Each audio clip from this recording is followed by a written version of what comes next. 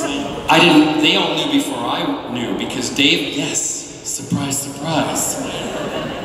No, David was the one who actually, we both got the scripts and I kept going up to David's trailer and he would say to me, you know, have you, have you read it, have you read it? I'm like, no, I haven't read it, shut the fuck up, I don't want to read it. Because I don't like to read ahead, I like to learn it as I go along and also know what's happening because that's part of the excitement as being an actor on uh, episodic television, uh, is seeing what happens when you live it for real.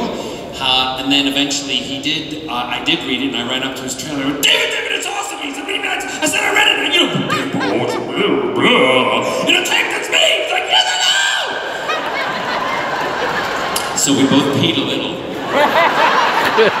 and then it was funny because after we were uh, doing we filmed the episode and we decided to have, we did Dirty Pizza Night, like a Friday sometimes, or a Saturday we do Dirty Pizza Night at my place in Cardiff, because David and I and Billy and Russell and everybody who was on Doctor Who lived in the same building. We called it Who Towers. and I loved that so much because I'm such a fanboy. Do you know what I did? I bought the apartment that I lived in because I wanted to own it the rest of my life because that's where my life changed. And also we had some really good parties in there and I didn't want to leave any evidence behind. yes, black light shows it all.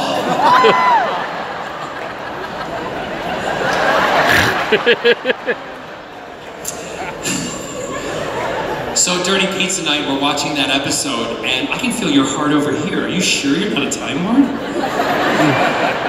I, uh, uh, we're doing Dirty Pizza Night, we're watching the episode, and I get up just before that whole sequence when I walk down and I turn around and I say, you know, the face of Boe they used to call me for da da da, all that, that dialogue, right? And uh, I walked over to the window and I opened the window and I let the window open. And David said, Barrowman, what are you doing? And I said, I'm just waiting to hear the nation's jaw drop. and drop it did, along with a few pants in that apartment. Anyway.